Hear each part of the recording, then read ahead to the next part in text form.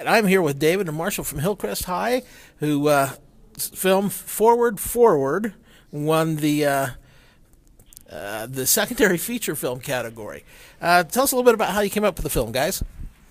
Uh, well, pretty much we were thinking about all those emails you got when probably when you were in your younger years or something, and your friends would send you these emails saying if you don't forward this to like 20 people by midnight, you know someone's gonna come after you.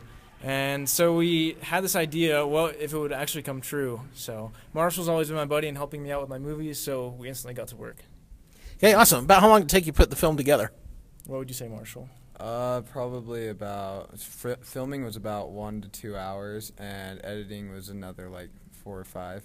Yeah, just for the the scene that we filmed at Marshall's house was a couple hours, uh, late at night. Uh, the other parts maybe uh, five or six more hours at home, and editing took maybe 24 hours. So, yeah. Hey, well, it's a great, intense film. Uh, appreciate it. Uh, I really enjoyed it. Thanks, guys. Okay, thank you. Thank you.